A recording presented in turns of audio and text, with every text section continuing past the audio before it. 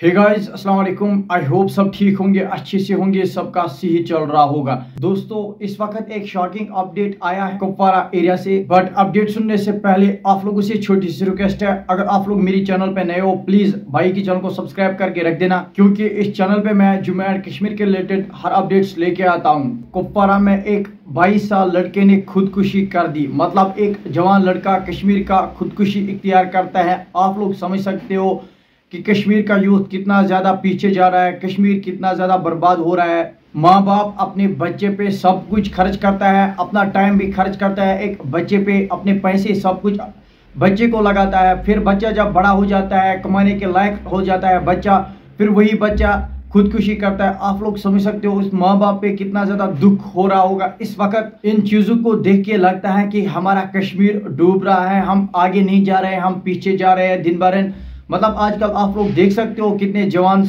खुदकुशी कर लेते हैं, ज़्यादा पानी में डूबने की वजह से मर जाते हैं, आधे घर पे खुदकुशी कर लेते हैं, दवाई खाते हैं, जहर खाते हैं। आप लोगों को मैंने बताया कि 22 साल के लड़के ने कुपवारा में खुदकुशी कर ली, लेकिन इसका रीज़न अभी सामने नहीं आया, इस लड़के ने खुदकुशी क्यों कर ली?